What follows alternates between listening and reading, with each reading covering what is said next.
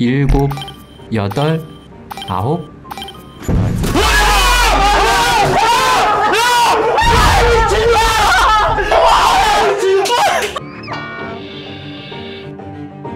어 돼지야 네 옆에 하지 마세요. 둘 둘.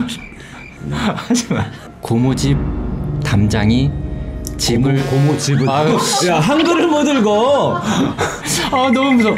아, 가족들은 TV를 보고 있었고 저는 조카랑 같이 놀고 있었는데 갑자기 창문 쪽 커튼이 풀럭 하고 움직이는 거예요. 분명 창문을 닫았는데 말이죠. 애써 무서운 마음을 외면하면서 조카에게 숫자책을 읽어주기 주었어요.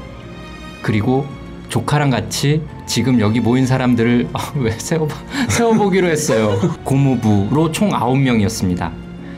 조카가 소파 주변에 둘러앉은 저희들을 가리키며 한 명 한명 세기 시작했어요.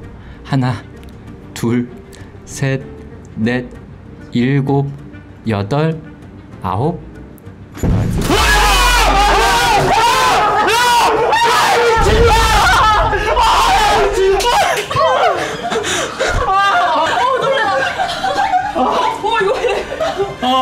아 깜짝이야. 놀래라.